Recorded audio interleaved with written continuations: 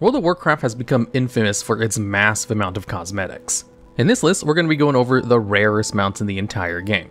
The list, however, will not include unobtainable mounts like Gladiator PvP mounts, TCG, or BlizzCon exclusive type mounts. This list will only be going over mounts you can still obtain and how rare they are in terms of drop chance.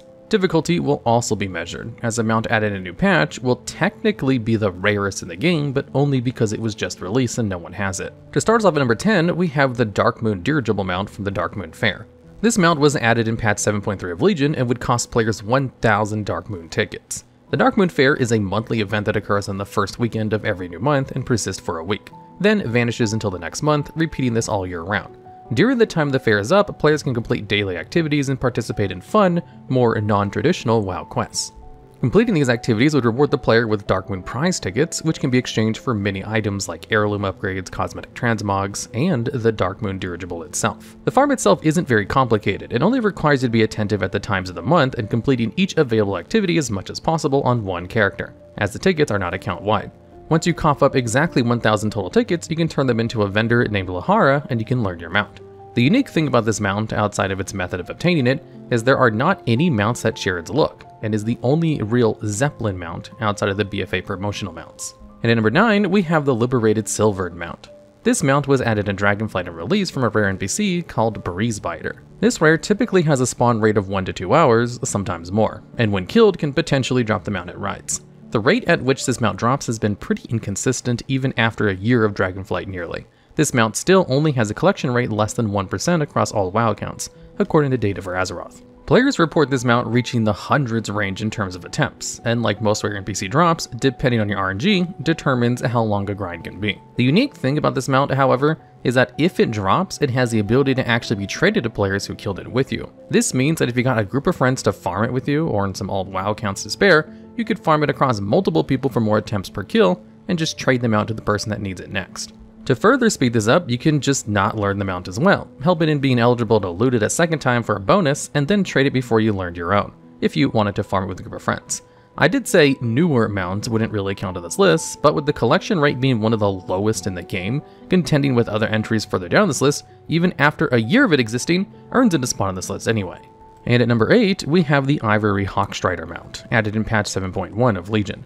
This mount would be a slightly different recolor of the infamous Swift White Hawkstrider mount from Kael'thas Sunstrider in the Magister's Terrace dungeon. To unlock the vendor that sells you this mount, you must kill the Falcosaur Matriarchs during a Falcosaur Swarm world quest anywhere in the Legion zone.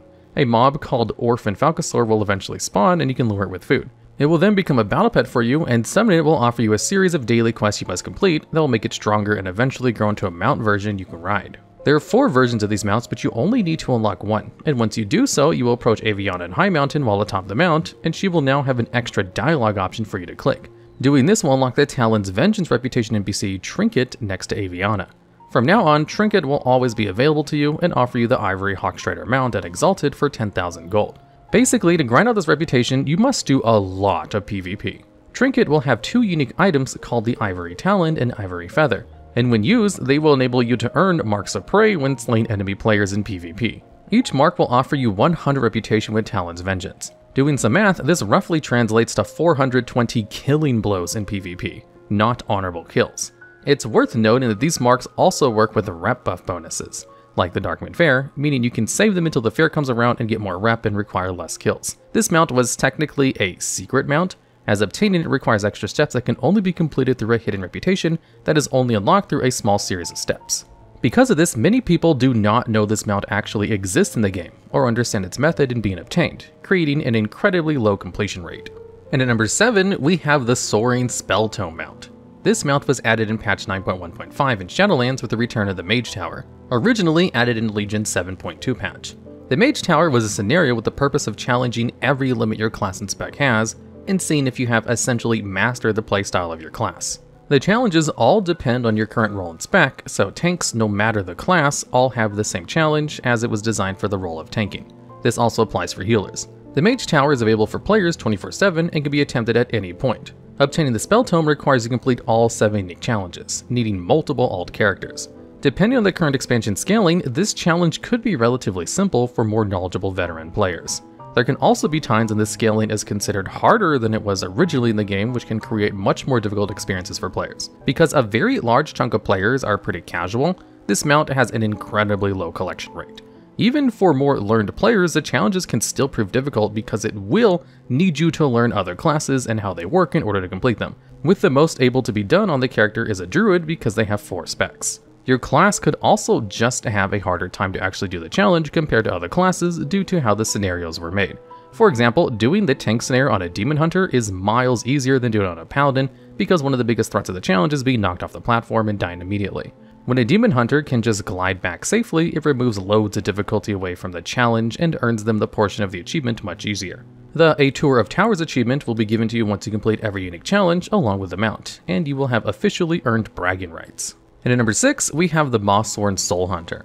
This mount was added on the release of Shadowlands as a rare drop from the Gorge Shadehound in the Maw. Within the Maw, there would be rotation of four world events called hunts in the Beastwarren's location of the zone. These hunts would rotate with each other every 3.5 days, meaning two a week, and only one would spawn the necessary rare. In the Hunt Shadehounds event, the Gorge Shadehound can be spawned on a relatively forgiving spawn timer, depending on your server, and when killed can potentially drop itself as a mount. What makes farming this mount so annoying is that it can only be killed once every day that the hunt is up on that character, and you must then wait for it to rotate back in. This means that you could only get 26 attempts a year on this mount, and can be multiplied for every alt character you have that's able to journey to the maw and locate the rare. Because Shadowlands is also over, a method that was formerly used to get quicker attempts was realm hopping. Realm hopping basically lets you change phases when you get invited by a player on a different server in the same zone as you. So if another server had the rare up and would invite you while you waited for yours to spawn, it would then show up and give your character its attempt. Without the method of realm hopping, as the Maw has much died down in player density, it makes obtaining the mount take much longer. To add on to this, it may also occasionally completely bug out. When the rare hits 50% health, it will run away deeper into the cave that you're fighting it in, and sometimes get stuck in the wall, evading every attack you make on it until it eventually despawns because the game thinks no one is engaging with it, ruining your attempt on that toon. With all these problems in farming the mountain mine, it has an incredibly low number of players that wish to farm it and actually have it. And at number 5, we have the Bloodfang Widow, added at the beginning of Legion with the Mad Merchant NPC. This mount isn't incredibly extreme in terms of steps to grind it out, other than just requiring you to have lots of gold. All you need to obtain this mount is a total of 2 million gold, and it's all yours. There's no reputations or secrets to this mount existence other than just requiring a lot of your hard-earned money. To some, 2 million gold is nothing at all. To others, this mount can be an insanely long grind on them because they cannot understand the economy of gold sometimes. It really just depends on the kind of player you are when it comes to this mount, being one of the few spider mounts in the game and was also the only one for a long time. Some players may elect to just farm materials and sell them on the auction house, selling green items in large open world farms or boosting people through tough PvE slash PvP content. Or you can just buy WoW tokens. Once you obtain your 2 million gold and are ready to purchase the mount, you must head to Dalaran and Legion and find the Mad Merchant. He appears as a gnome with a yellow robe and tall wizard hat and will say in the Yell chat, sparkles, fizzles, whiz bangs ahoy. The music in Dalaran will also change to a more circus themed sound, showing that he's up. His spawn time is very random, it can go days without showing up on some servers, but once he's up he'll remain spawned for about an hour. At this time you can just walk up to him and buy the spider for the 2 million gold you've obtained, and learn your new mount. Because of the costly effort this mount introduces, and some players have never even hit above 200,000 gold at a single time, it earns a spot on this list, but is still relatively simple in earning. Even after 7 years of it existing, the mount still only has a less than 2% collection rate. It just depends on what kind of player you are. And at number 4, we have the world boss mounts from the respective expansions. This is the only entry on this list with multiple mounts tied together, as they are all incredibly similar in the method of obtaining and drop chance. Together, we have the Heavenly Onyx Cloud Serpent from the Sha of Anger, Thundering Cobalt Cloud Serpent from Nalak, Cobalt Primordial Direhorn from Oondasta, Son of Galleon from Galleon, Solar Spirehawk from Rukhmar, and Molly from the Doongorger Krolog. To farm these mounts, you would need to go to the boss's respective zones, locate them, and kill them. Once killed, they have a very low chance of rewarding you with their mount. The world bosses typically have a spawn timer of about 15 to 30 minutes, and because realm hopping isn't the most effective way to farm these bosses, even when you reach the boss you need and are ready to get your attempt in, the boss might not even be alive and you'd be forced to sit and wait. Some players would actually reach the thousands in terms of attempts, and Blizzard would fortunately add a hotfix that increased the drop chance of these mounts, as a farm that has players stuck for over half a decade is clearly unfun for any party involved with it. Regardless of this increase, however, the drop rate remains low, and the collection rate of all of these mounts is in the less than 3% range across all WoW accounts. And at number 3, we have the Zereth Overseer. This mount would potentially drop for players upon the defeat of the Jailer encounter in Sepulcher of the first ones, and only on the Mythic difficulty. Due to the mount's restrictions in farming and age at the time of the script, Dragonflight 10.1.7, you are forced into asking other players for help in you in getting attempts in. Because this raid is not super old still, and with how scaling works, many players need a skilled and geared group of 10 to 20 people to bring him down efficiently. The Jailer was the final boss of the Shadowlands expansion and even now has both deadly mechanics and is no pushover to many groups. The Zereth Overseer is said to be a 1% drop chance mount, but you will find the most difficulty in getting a competent group together to actually defeat the encounter. Players have a tendency to join legacy content and expect an overall face roll of content as they mash random buttons and expect the boss to drop dead and give them what they want. In the Jailer's case, you still have to try, at the dismay of a lot of collectors. During phase 1 of the encounter, the boss will occasionally attempt to mind control the entire raid with a relentless domination, and it must be line of sighted with the pillars that are created by players. These pillars come from marked players of Rune of Damnation and will be dropped into empty pits around the room and shoot players back onto the platform and a pillar to LOS. Lots of people who collect don't have time nor really want to commit the effort for learning old content because that's not what they're there for. So when it comes to having to actually understand fundamental mechanics, they may just leave altogether or wipe your group at failing to do what is asked. This can result in many wipes or just failed attempts for the week overall. Even if you manage to kill him, you still only have a 1% chance to get the mount, and will likely need to repeat this process multiple times if you wish to farm across other characters, which can prove difficult as, like mentioned, you may spend more time just farming and gathering players who actually wish to help you. For our second to last entry in this list, we have the X45 Heartbreaker, formerly known as the Big Love Rocket. The Heartbreaker is a holiday mount added as the real-world counterpart of Valentine's Day. You can queue your character for the dungeon and will receive a heart-shaped box that will contain the mount within. This event can only be farmed for a few weeks in the year and will then vanish until February rolls around once again in a full year. The dungeon can be farmed once a day for every character and has the benefit of a larger drop chance for your first run of the day, encouraging more players to get at least one attempt for the day in while the event runs. The drop rate of the buffed first daily run is unknown, but the runs after this are supposed to have a 1 in 3000 chance, or 0.03% chance. Obviously, this seems almost impossible to occur, and even since it was added in Wrath of the Lich King in 3.3, the mount still sees an obtain rate of less than 4%. It has only been one year since they added the buff, and more people definitely received the mount than before, so over time, this number will increase. Even the most dedicated collectors, nearing 900 mounts, still do not have this mount. With such a really low drop chance and only a few weeks out of the year when it's available, it's become known as one of the rarest mounts in the entire game's history.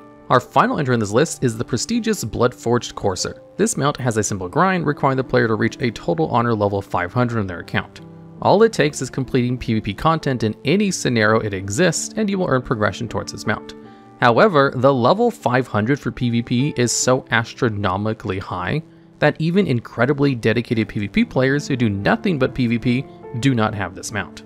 Honor is both a currency used to purchase PvP gear, but in this system, it's a level on your account that shows your prestige and commitment to the activity. Each level requires 10,000 honor total, and how much you net per win depends on the type of content you're participating in, but will be PvP regardless. To put into perspective how few players actually have this mount, even with the grind allowing account-wide progression and never losing honor, it rivals even Gladiator and TCG mounts. Gladiator mounts can only be obtained by achieving 50 wins at above 2400 rating in 3v3s. And before this method of mount was added in, you had to be in the top 1% of players in the entire bracket of PvP. TCG mounts have all been removed and generally can cost players thousands of dollars for their worth nowadays, but this mount, which can be achieved entirely in-game, has a collection rate of a terrifying 0.58% across accounts.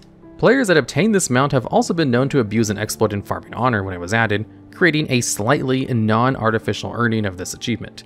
This means that players who earn this legitimately and without a bug is even lower than the mentioned percentage. If you see someone on this amount, you know for sure they are incredibly patient and committed. And that's all the rarest mounts in the game. WoW has had such an insane amount of mounts for players to collect, and many of the rarest are just completely unavailable. But everything on this list is still 100% achievable by any player who watches the video.